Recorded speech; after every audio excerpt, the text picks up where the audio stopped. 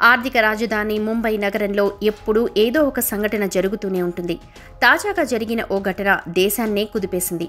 తుపాకులతో ఓ కార్యాలయంలోకి ప్రవేశించిన దుండగులు point బ్లాంక్లో gun పెట్టి కోటి రూపాయలు దోచుకెళ్ళారు. ఈ ఘటనకు సంబంధించిన వీడియో అక్కడున్న సీసీ కెమెరాలో రికార్డైంది ప్రస్తుతం ఈ వీడియో నెట్టింట వైరల్గా మారింది. ఈ ఘటన ముంబైలోని ములున్ ప్రాంతంలోని ఓ సంస్థ కార్యాలయంలో జరిగింది. ముగ్గురు గుర్తు తెలియని వ్యక్తులు గన్నులతో వచ్చారు. తర్వాత అక్కడున్న వారిని బెదిరించి కోటి రూపాయల నగదుతో పారిపోయారు.